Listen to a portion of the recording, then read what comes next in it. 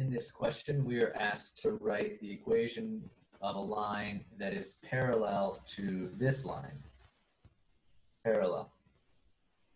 And go through the point 9 comma negative 4. So we'll start by finding the slope of this line. We need to isolate y. So let's subtract 2x from both sides of the equation and get negative 3y equals negative 2x plus 18. Isolate y, divide by negative 3. And get y equals negative divided by negative is positive. Positive 2 thirds x positive divided by negative is minus 6. So this original equation is now in y equals mx plus b form, where we know the slope is 2 thirds.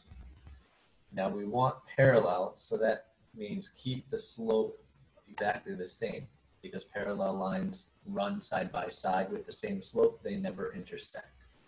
So we're going to use 2 thirds as our slope.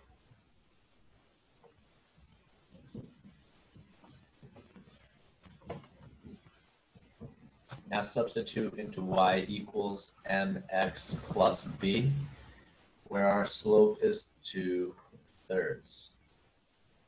Now this is the point that we need to pass through.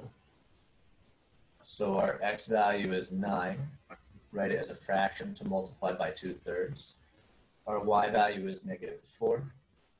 And we're going to be finding b. Then when we finish, we'll have y equals 2 thirds x, then plus b, and we'll know what b is. Multiply fractions. 2 times 9 over 3 times 1. So 18 over 3, which is the same as the number 6. So negative 4 equals 6 plus b.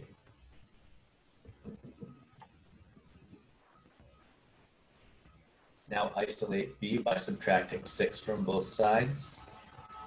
b equals negative 4 minus 6 is negative 10.